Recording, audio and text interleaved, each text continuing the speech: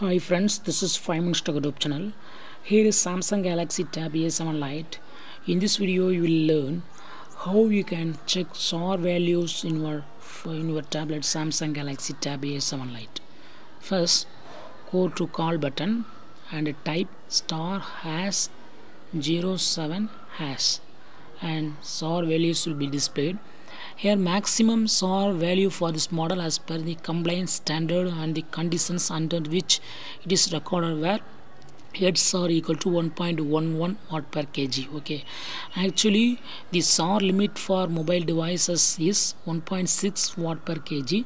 So it is uh, uh, less than 1.6 1.11 is less than 1.1 so it is with uh, within the range okay?